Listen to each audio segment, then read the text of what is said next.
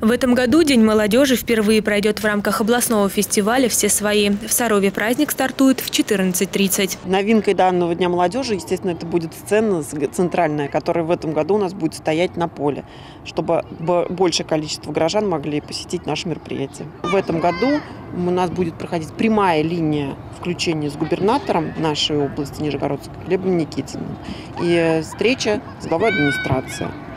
Все это будет проходить на центральном поле. На запасном поле Икара пройдет благотворительный товарищеский матч между командами драматического театра и администрации. А на спортивных площадках стадиона саровчане смогут принять участие в соревнованиях по автозвуку, посетить выставку мотоциклов, а также поучаствовать в масштабном проекте «Танцующий Саров». Будет очень интересная игра «Бампербол», которую мы хотели предложить молодежи, чтобы они поиграли.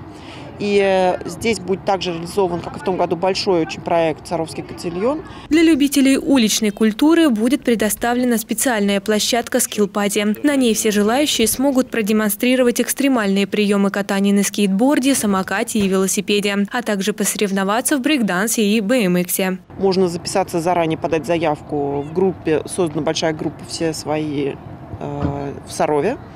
И помимо этого на этой площадке будет проводиться мастер-класс от Александра Мерзликина по джам-стайлу. В рамках проекта «Все свои» будет запущен конкурс «Самые веселые фото со Дня молодежи». Всем участникам необходимо будет сделать оригинальные фотографии с праздника, выложить их в социальные сети ВКонтакте или Инстаграм с хэштегами «Все свои 52» и «В Сарове». Выбирать победителя конкурса организаторы будут по количеству лайков. Финальной точкой Дня молодежи станет выступление московской группы «Мультиверс». Ирина Вышегородцева, Артемий Глазков, Сергей Рябов. Служба новостей «Саров 24».